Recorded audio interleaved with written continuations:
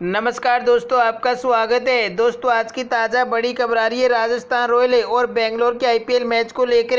दोनों टीमों के बीच बहुत ही रोमांचक मैच चल रहा है। इस वीडियो में दोस्तों आपको पूरी जानकारी देंगे। तो चलिए दोस्तों, आज की वीडियो की शुरुआत करते हैं। उससे पहले दोस्तों, आपसे छोटा सा निवेदन है कि आप एक बार वीडियो को लाइक ज़रूर कर दें, क्योंकि दोस्तों लाइक और शेयर करना ही हमारी मेहनत का फल होता है। राजस्थान की टीम ने एक अच्छी बल्लेबाजी की शुरुआत की थी। उसके बाद राजस्थान की टीम पर दबाव बनता हुआ नज़र आ रहा है। राजस्थान की टीम ने तेरह ओवर खेलते हुए चार विकेट के नुकसान पर एक सौ चौदह रन बना लिए बल्लेबाजी की बात करें तो संजू सैमसन ने 15 गेंदों का सामना करते हुए दो छक्कों की सहायता से उन्नीस रन बनाकर आउट हो गए। जबकि जयसवाल ने 22 गेंदों का सामना करते हुए तीन चौके और दो छक्कों की सहायता से इकतीस रन बनाकर आउट हो गए। लविंस ने भी 27 गेंदों का सामना करते हुए पाँच चौके और तीन छक्कों की सहायता से अट्ठावन रनों की एक शानदार पारी खेली।